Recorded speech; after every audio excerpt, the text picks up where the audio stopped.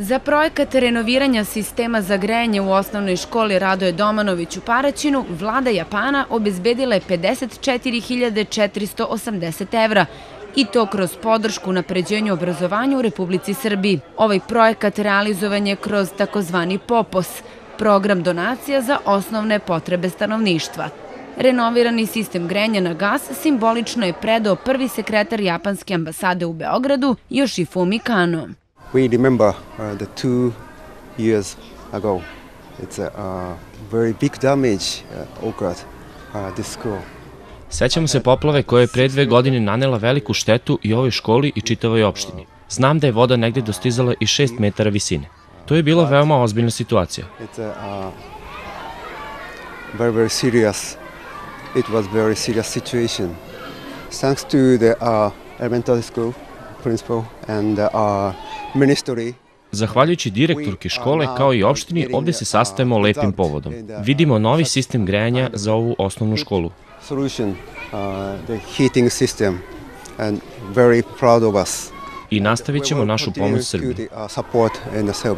Osnovna škola Radoje Domanović, od kada je osnovana 1949. godine, do sada koristila je sistem grejanja na čvrsto gorivo.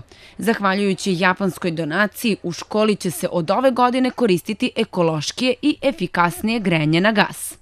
Zahvaljujući kolegi e, Milićević Darku koji je napisao projekat i aplicirao Japanskoj ambasadi, e, imali smo sreće i e, dovoljno razumevanja da narod Japana donese odluku da odabere baš našu školu da dobijemo donaciju kako bismo uveli grejanje na gas.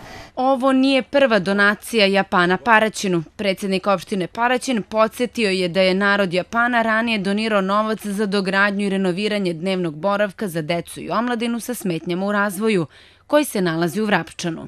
I ova je druga pomoć koja je stigla za školu, dakle za e, sistem grejanja u školi koji je unapređen tako da imamo jeftinije grejanje, bolje grejanje nego što je bilo ranije, mnogi godina bilo je problema dakle sa grejanjem u školi Radovanović, to se dobro zna. Taj problem je konačno sada rešen i evo kažem imamo jeftinije grejanje, to je prava stvar za nas i ovo je prilika da se još jednom zahvalimo vladi Japana i narodu Japana.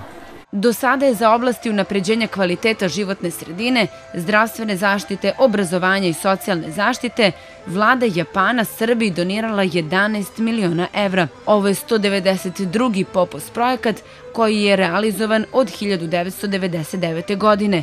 Ukupan iznos japanske pomoći Republici Srbiji u istom periodu premašuje 490 miliona evra.